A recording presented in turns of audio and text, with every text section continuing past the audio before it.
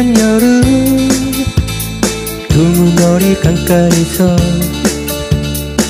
추억을 담은 편지를 쓰네. 많은 이야기들 보간 곳 없이 세월 속에 묻힌다 해도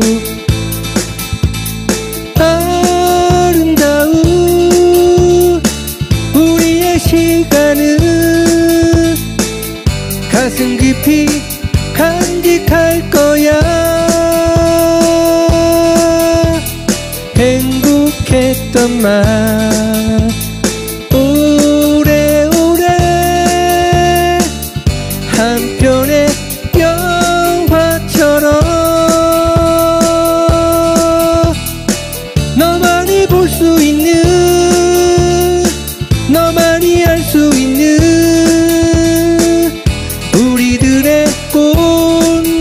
사연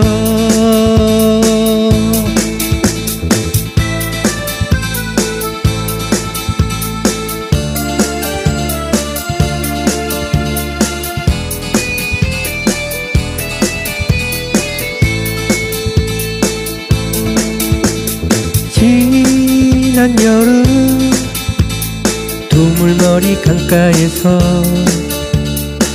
추억을 담은 편지를 쓰네. 많은 이야기들 보간 곳 없이 세월 속에 묻힌다 해도 아름다운 우리의 시간은 가슴 깊이 간직할 거야. 행복했던 날 오래오래 한편